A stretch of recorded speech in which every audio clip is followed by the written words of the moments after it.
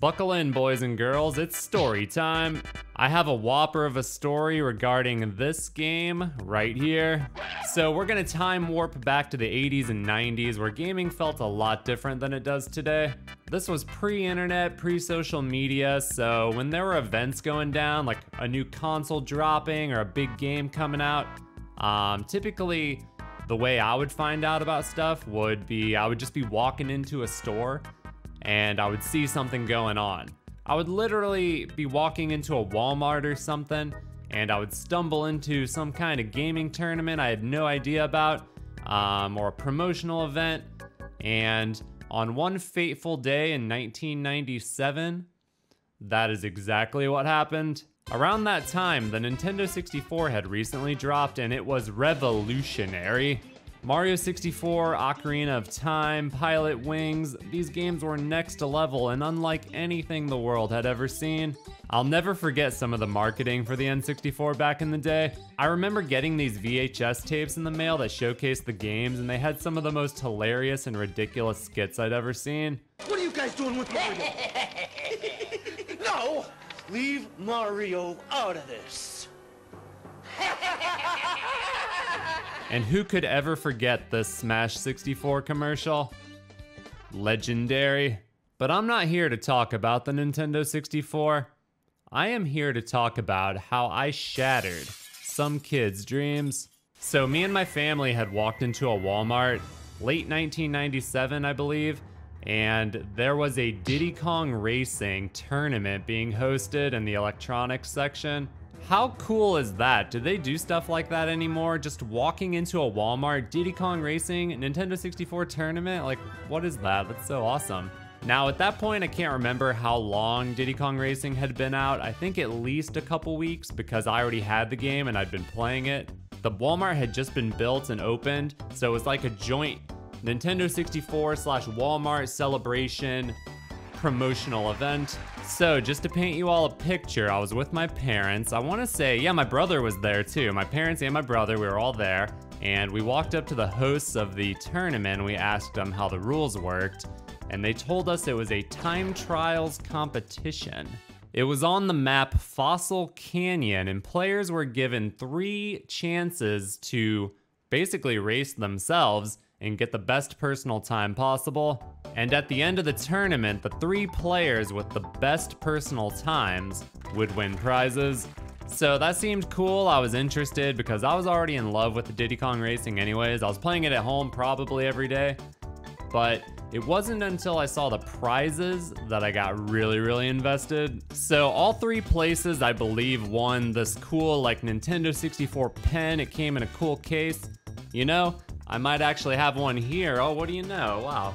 It says Nintendo 64 on the side. Comes in a little case. It's pretty neat. I can't remember exactly what second and third place got on top of the pen. Maybe third place only got a pen, second got a pen and something else. Uh, first got a pen and the grand prize. It was this incredibly cool incredibly rare Nintendo 64 jacket. It had a patch on the left chest, nothing on the back. So clean, so slick. I remember thinking that is such a cool jacket. You know, you see a lot of like gaming jackets and coats and stuff, and usually they're like kind of over the top, a bit crazy. Maybe you wouldn't really wear those out in public, but this jacket, this was a pretty cool jacket. So I was in awe of this jacket and I knew I wanted it immediately. So I checked out the scene. There were people standing around all over the place with their parents and stuff. Uh, maybe just waiting around to see. Uh, they were just watching. Maybe they had already competed and they were waiting to see like how they would place. When I got there, some kid was actively playing, uh, doing his turns, and I remember stepping up behind him and just watching and kind of assessing his abilities, seeing how good he was. They had a little desk where they were documenting all the best times for everybody, and I walked up to the desk and I looked at it. Um, I don't remember who the first place person was, like what his name actually was. Uh, for our purposes, let's just call him Jack. So Jack was standing nearby with his dad. They were watching new challengers try to beat his time. Now, Jack had a very nice lead over second place.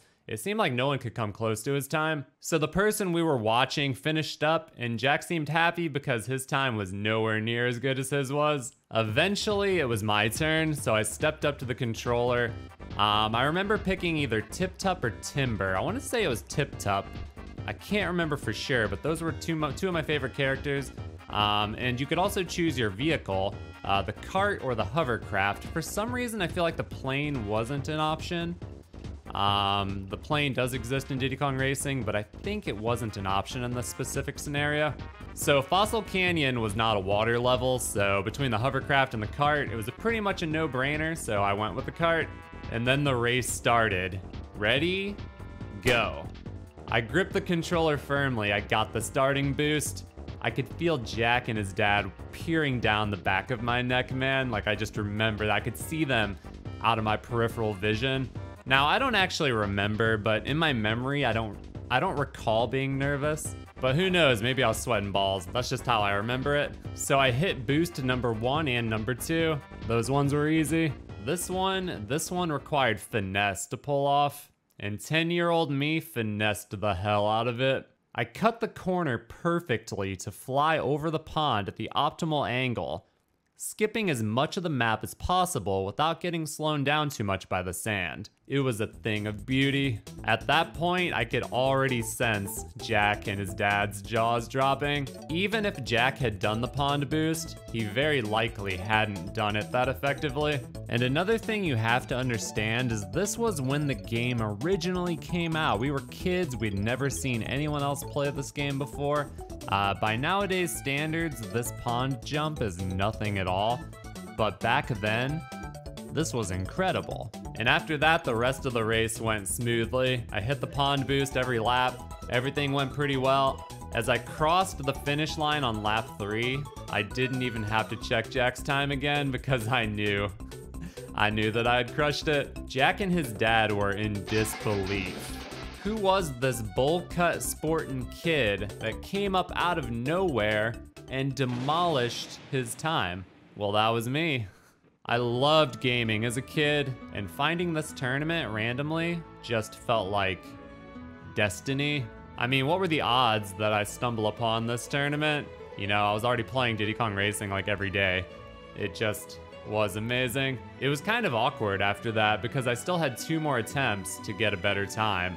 Um, and Jack didn't have any more attempts, and I had already beaten him, so he couldn't even redeem himself. So, like the troll I am, I tried to play with the hovercraft on my second attempt for some reason, which didn't go that well, and then I tried again with the cart. And I think I had a decent run on my third attempt, but it wasn't as good as my first. And that was it. After that, I took my place on the sidelines with everybody else, waiting for the tournament timer to end. And here's the worst part for Jack and his dad. When I showed up, there was only like 20 minutes left of the tournament, so Jack and his dad had likely been there for hours. And Jack had been in first place the entire time, undisputed, and then at the last second, I showed up and took his time. This punk ass kid coming up out of nowhere and snatching the prize. And that's the story of how I won this incredibly cool Nintendo 64 jacket that I still have and cherish to this day. 25 years later. This was always a really cool story that I wanted to share, especially after I became a gaming creator, like a live streamer, playing games for a living. I looked back at this story and I was like, wow, this is almost like a coming of age tale in a way. Um, it's a really cool piece of history that I'm I'm happy that I get to share with you all and kind of talk about. It's it's really funny. Um, it's just a really funny story, and I look back on it so fondly. Hopefully, Jack wasn't too upset about it. I wonder I wonder what Jack is up to these days. It would be so cool if somehow he saw this video. Also, his name's not Jack. I don't know what his name actually is. Thinking about Walmart back in the late 90s, man, it was so different. You know, when you would walk through Walmart and see the lines of N64 boxes, SNES boxes, the cartridges, the box art was so beautiful, so creative. Like, call me old fashioned, but I feel like it just ain't the same these days. The boxes were so bright and colorful, you know? Like, so cool. So freaking cool, man. Anyways, that is the story of how I crushed some little kid's dreams.